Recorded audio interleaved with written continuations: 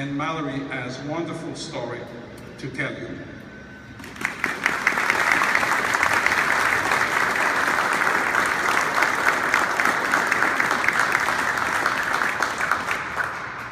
Hello, my name is Mallory Obenauf and I am a scoliosis survivor.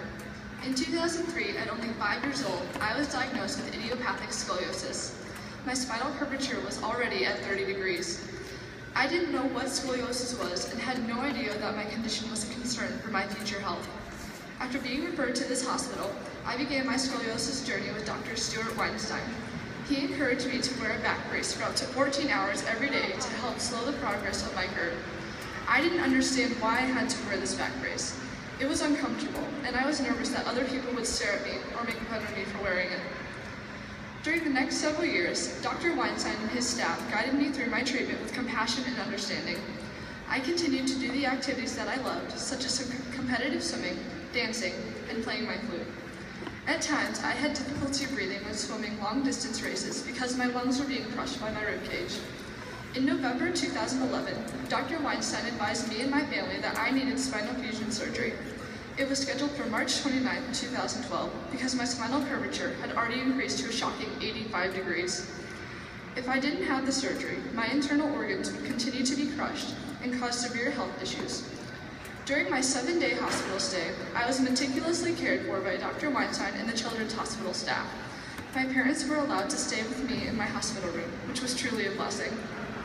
Once I returned home, I began to share my scoliosis experience with several of Dr. Weinstein's patients and families who were beginning their own scoliosis journey. It was very gratifying for me to help those families through their fears of the unknown.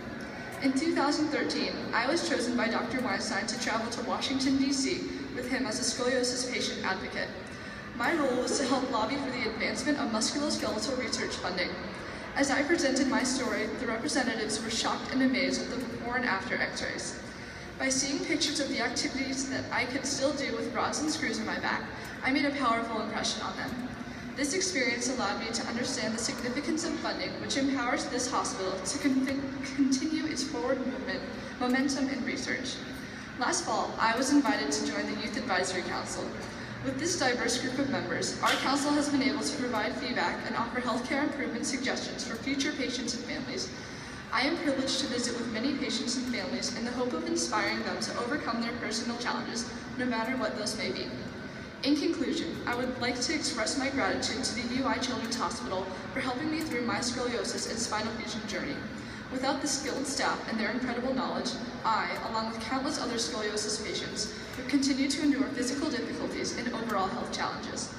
My hope is for patients to embrace the caring family atmosphere here, like I did, and for them to continue to receive the finest treatment options from one of the best nationally ranked hospitals. Congratulations to everyone who has been a part of this newly constructed, children's hospital. It is my honor to be a part of your family. Thank you.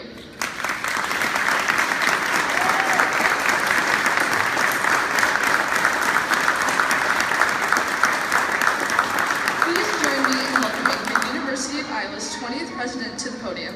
President Mason has been a strong supporter of the new UI Children's Hospital as part of an overall campus transformation. President Mason, thank you so much for your leadership.